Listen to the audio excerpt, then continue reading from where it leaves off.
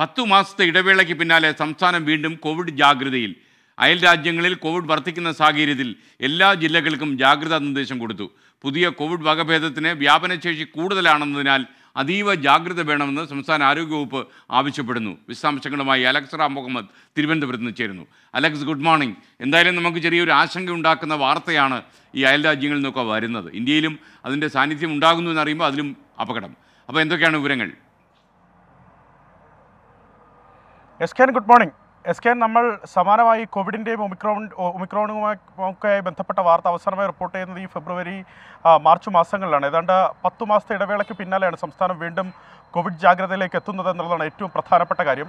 S Ken സൂചിപ്പിച്ചതുപോലെ തന്നെ നമ്മുടെ അയൽ രാജ്യങ്ങൾ പ്രത്യേകിച്ച് ചൈന അടക്കമുള്ള അയൽ രാജ്യങ്ങളിൽ ഈ കോവിഡിന്റെ മൂന്നാം തരംഗ ഭീഷണിയിലാണ്. നേരത്തെ തന്നെ ഈ രണ്ടാം തരംഗത്തിന്റെ അവസാന ഘട്ടത്തിൽ തന്നെ ആരോഗ്യ വിദഗ്ധർ മുന്നറിയിപ്പ് നൽകിയിരുന്നു. ഇത് ഇവിടെ കൊണ്ട് ഇത് അവസാനിക്കുന്നില്ല. ഒരു മൂന്നാം തരംഗം ഉണ്ടാകാനുള്ള സാധ്യതയുണ്ട്. അതിനുള്ള മുൻകരുതൽ എല്ലാ കാലത്തും സ്വീകരിക്കണം എന്നൊരു മുന്നറിയിപ്പ് ആരോഗ്യ വിദഗ്ധർ നൽകുകയും ചെയ്തിരുന്നു. അത് ശരിവെക്കുന്ന തരത്തിലാണ് ചൈന ചൈന അടക്കമുള്ള രാജ്യങ്ങളിൽ തീവ്ര വ്യാപനശേഷിയുള്ള കോവിഡ് കൂടുതലായി റിപ്പോർട്ട് ചെയ്യുന്നത് എന്നുള്ളതാണ് ഏറ്റവും പ്രധാനപ്പെട്ട കാര്യം. മാത്രമല്ല ഈ വ്യാപനശേഷി കൂടുതലുള്ള ബി എഫ് സെവൻ വകഭേദം ഇന്ത്യയിലും പലയിടങ്ങളിൽ റിപ്പോർട്ട് ചെയ്തു. നാല് കേസുകൾ ഇന്ത്യയിൽ റിപ്പോർട്ട് ചെയ്തെന്നാണ് അവസാനത്തെ കണക്കുകൾ. ഇതിന്റെയൊക്കെ പശ്ചാത്തലത്തിൽ സംസ്ഥാനത്തും കടുത്ത ജാഗ്രതയും പ്രതിരോധവും പ്രതിരോധത്തിലേക്കും കടക്കാനാണ് സംസ്ഥാന സർക്കാരും ആരോഗ്യവകുപ്പും തീരുമാനിച്ചിട്ടുള്ളത് എന്നുള്ളതാണ് ഏറ്റവും പ്രധാനപ്പെട്ട കാര്യം. കഴിഞ്ഞ ദിവസം വൈകുന്നേരം ഇന്നലെ വൈകുന്നേരം ഏഴ് മണിയോടുകൂടെ ആരോഗ്യവകുപ്പ് മന്ത്രിയുടെ നേതൃത്വത്തിൽ സ്റ്റേറ്റ് റാപ്പിഡ് റെസ്പോൺസ് ടീം ഇതുമായി ബന്ധപ്പെട്ട ഒരു അടിയന്തര യോഗം ചേർന്ന് സംസ്ഥാനത്തെ സാഹചര്യം വിലയിരുത്തിയിട്ടുണ്ട്. നിലവിൽ സംസ്ഥാനത്തെ കോവിഡ് കേസുകളുടെ എണ്ണം കുറവാണ് എന്നാണ് ഈ യോഗം വിലയിരുത്തിയിട്ടുള്ളത്.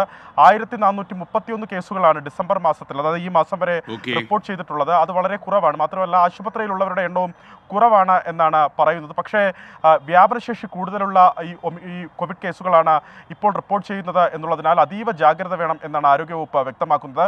ആശങ്ക വേണ്ട മുൻകരുതലുകൾ സ്വീകരിക്കണം. നേരത്തെ കോവിഡുമായി ബന്ധപ്പെട്ട് പഠിച്ച പാഠങ്ങൾ വീണ്ടും പ്രായോഗികമാക്കണമെന്ന് മുഖ്യമന്ത്രിയും കഴിഞ്ഞ ദിവസം പറഞ്ഞിരുന്നു. മാസ്ക് കൃത്യമായി ധരിക്കണം കൈകൾ കഴുകണം സാനിറ്റൈസർ ഉപയോഗിക്കുക തുടങ്ങി കോവിഡുമായി ബന്ധപ്പെട്ട മാർഗനിർദ്ദേശങ്ങൾ കൃത്യമായി പാലിക്കണം. മാത്രമല്ല ഈ രോഗലക്ഷണമുള്ളവരിൽ പരിശോധന കൂടുതലായി നടത്താനും ജനിതക ശ്രേണീകരണം നടത്തി ഈ തീവ്ര വ്യാപന ശേഷിയുള്ള കോവിഡ് കണ്ടെത്താനുള്ള ശ്രമത്തിലേക്കും സംസ്ഥാന ആരോഗ്യവകുപ്പ് Okay. കടന്നിട്ടുണ്ട് താങ്ക് യു അലക്സ് മുഹമ്മദ്